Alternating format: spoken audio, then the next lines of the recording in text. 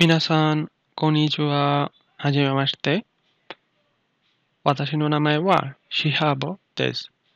今日は私の大学の図書館について紹介していただきと思います。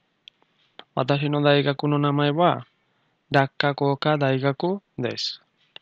私の大学の小さい図書館があります。2万1000冊の本があります。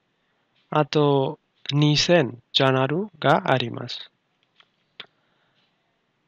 図書館にいろいろなサービスがあります。